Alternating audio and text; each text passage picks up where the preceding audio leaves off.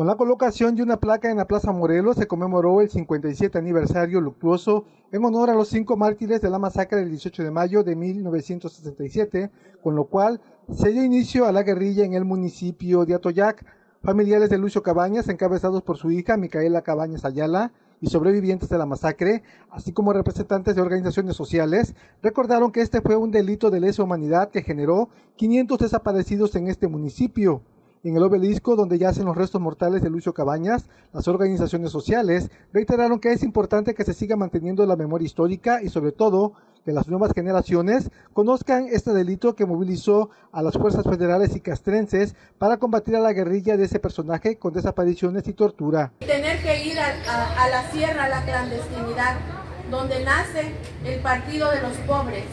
donde nace toda esa ideología que nos hace hoy estar aquí, estar presentes y nunca olvidar que nosotros somos la semilla sembrada por todos esos hombres y mujeres que dejaron en nosotros esa ideología que hoy compartimos con ustedes y compartimos con todas las juventudes.